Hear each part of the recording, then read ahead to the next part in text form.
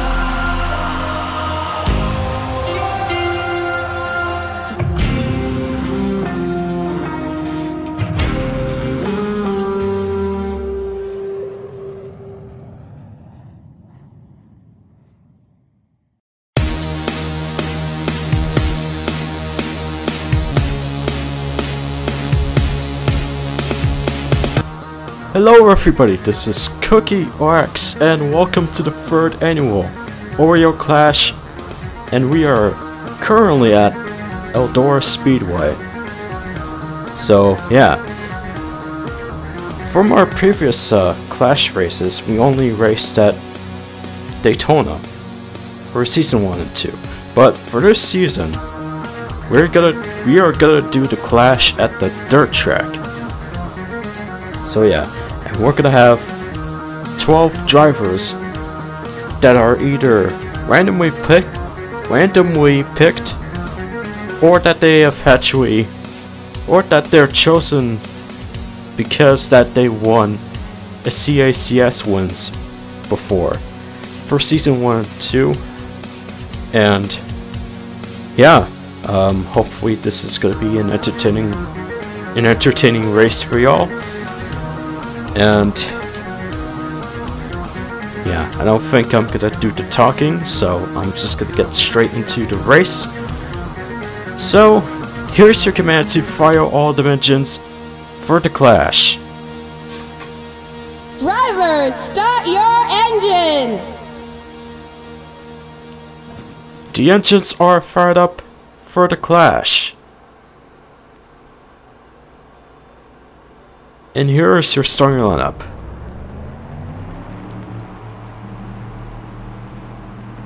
Not gonna due to driver instructions, but I will at least tell you that we are gonna do this clash for 50 laps, 100 track miles. Previous clash winner from last year, Dylan Ibrahiman. And this is actually the second next-gen mod race at Eldora. You'll, you probably know why, but I'm not gonna explain it. Because we're going green for the Oreo Clash at Eldora.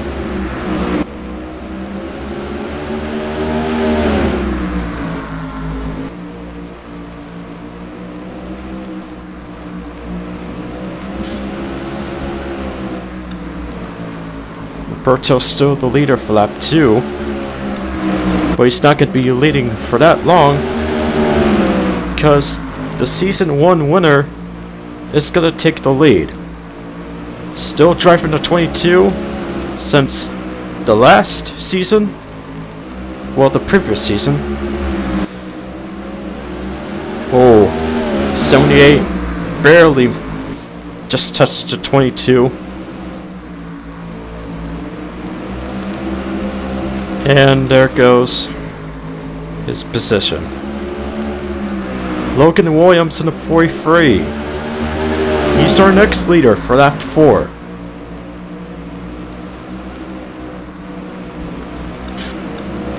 And then he hits the wall.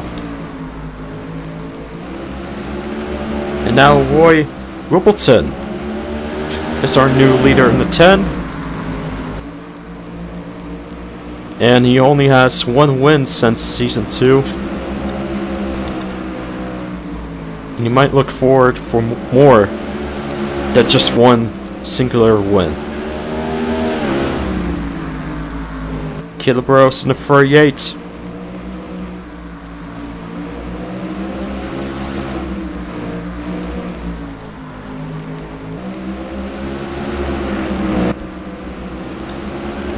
I forgot to do something about the lead leaderboard.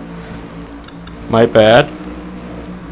Owen Miles in the 16 with his teammate behind him. The 16 takes the lead. And Roberto side by side with Caleb. Oh, the caution's out. Yeah, the yeah, the caution's out. And Elisha and Trey, they were involved from that wreck.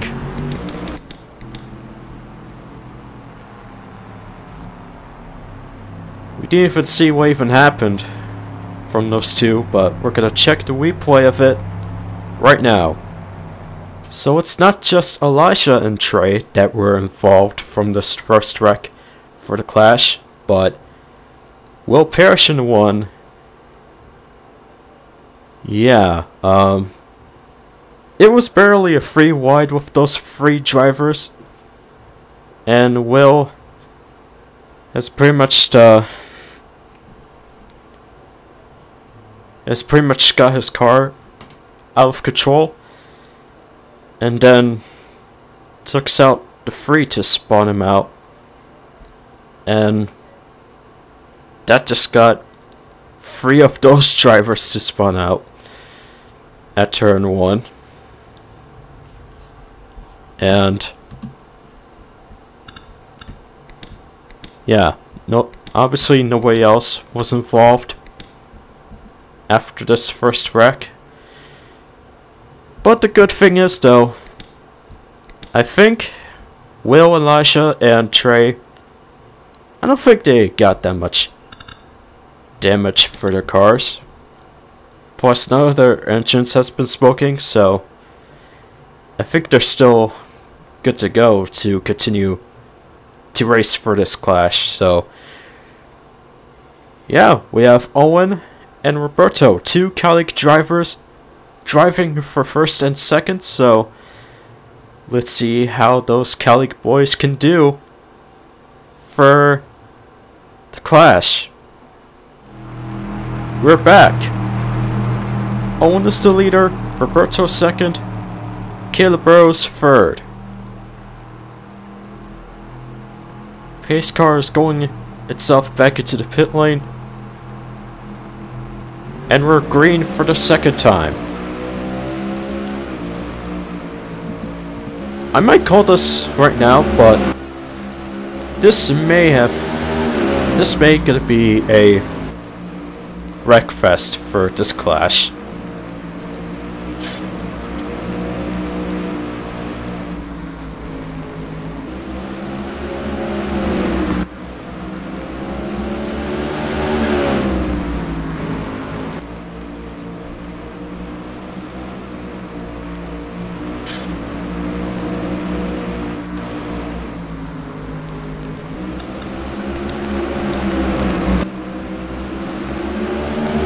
Caleb gonna pass Roberto to get second. Almost got himself screwed up. But, uh, still driving. Still trying to go for the lead. But Roberto is gonna try to get the lead before before Caleb. Did I say Roberto? I meant to say Roy. Oh, there it goes, right to the wall. Now Eric Monaco is at second. The rookie, what? He's one of the rookies for the Chips Ahoy Cup Series. And right now he is gonna try to pass the 16. He'll either just keep trying or just wait for Owen to screw himself up. Like that, basically. And now Eric... Eric has got the lead at lap 21.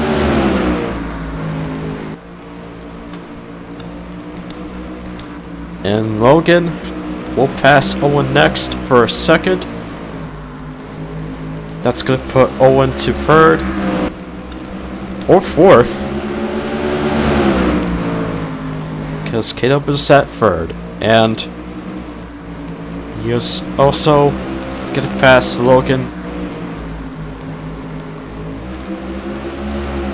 And he's also gonna pass the leader too just to instantly get the lead pretty quick. And there you go. Caleb Rose is your leader again. Owen Miles back to the top three position. And he is gonna try to get his lead back. Until now, Those two are side by side. That's obviously not gonna last for more than three seconds. Oh four. Owen is your leader. Logan Williams to second. And Caleb is just driving for third. Here comes the other colleague driver. Roberto trying to pass Caleb for third. They're side by side.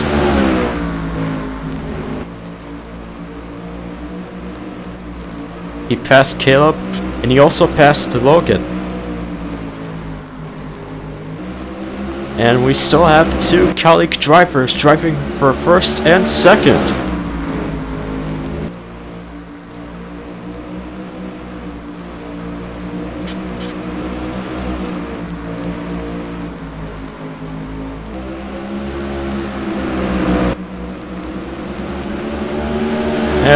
Roberto might not last long. For a second, at least for now. Logan Williams to second, and he is still going for the lead.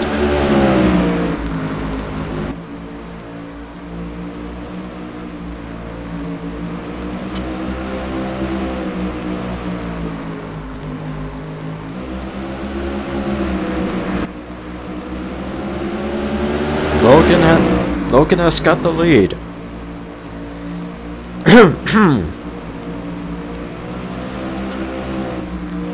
I believe we are at 19 laps left for this clash.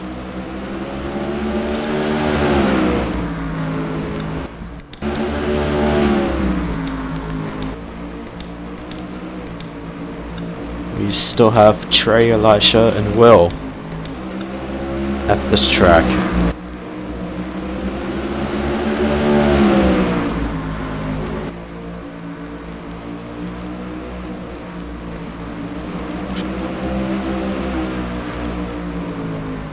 Owen kind of pushed Logan to the wall a bit.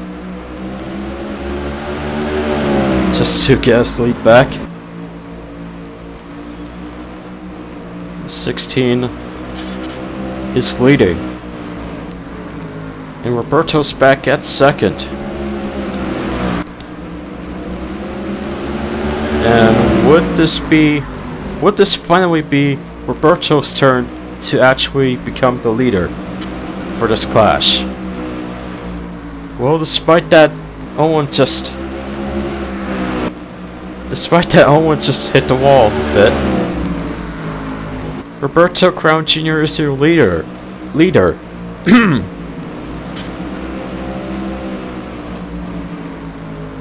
Logan's still driving for a second, but he hasn't.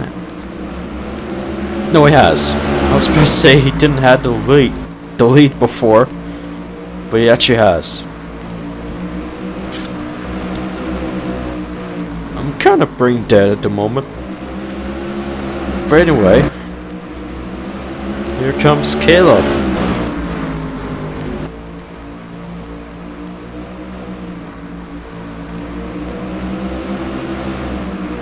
They are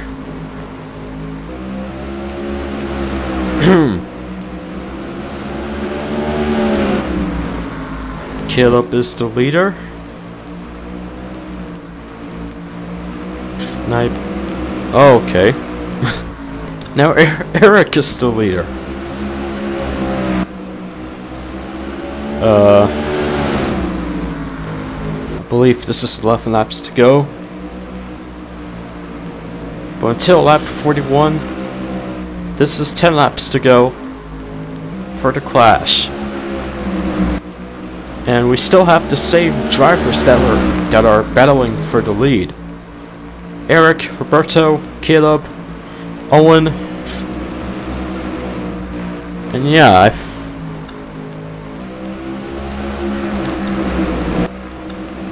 Did I forget somebody? Logan. I forgot about Logan. But uh, yeah.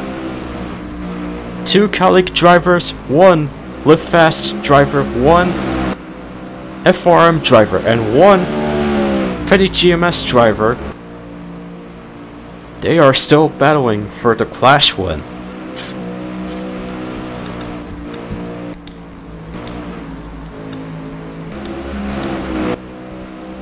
Roberto is starting to drove away from the 38 just to keep his lead for a little longer until we get to the last lap.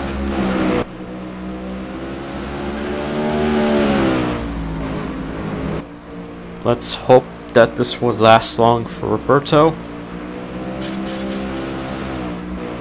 Five laps to go.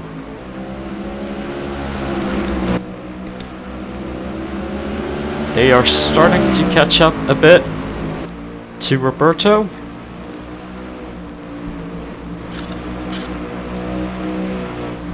Four laps to go.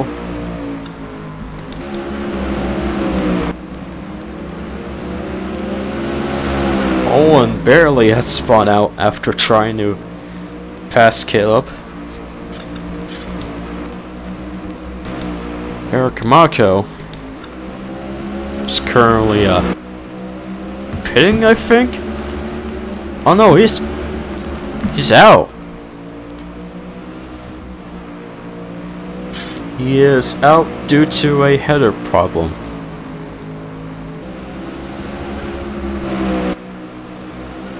Not sure what really happened there, but...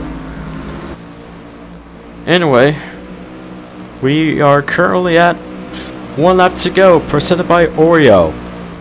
Roberto's teammate is starting to catch up to him pretty fast.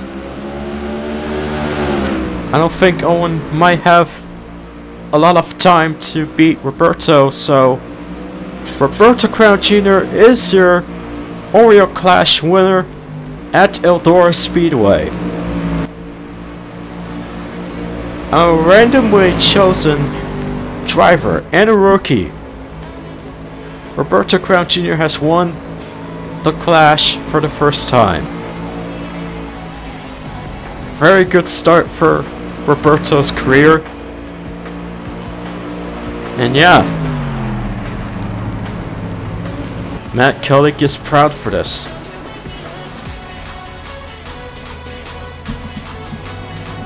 And yeah.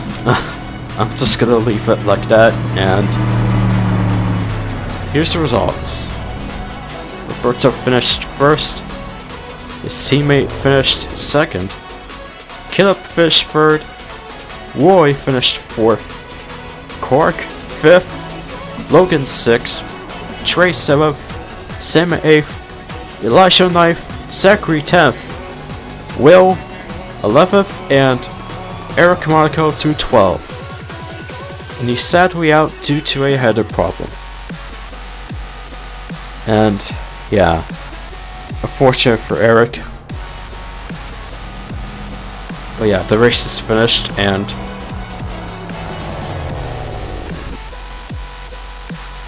yeah, that's gonna be it. So thank you guys for watching. Uh, I'm pretty sure that I have nothing going on for next week. But I am doing something for the Daytona 500 for the next two weeks.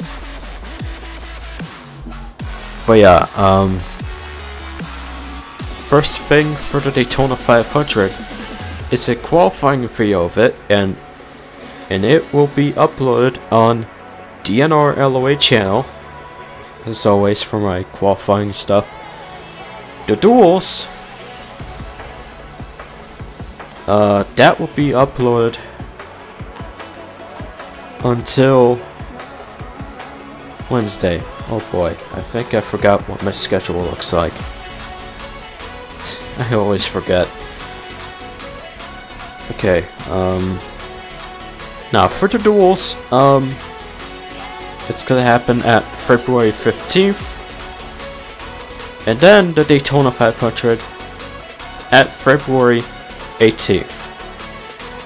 Before the actual Daytona 500. And yeah, that's all I gotta say. So thank you guys for watching. Congrats to Roberto as your Clash winner. And I will see you guys later. Peace!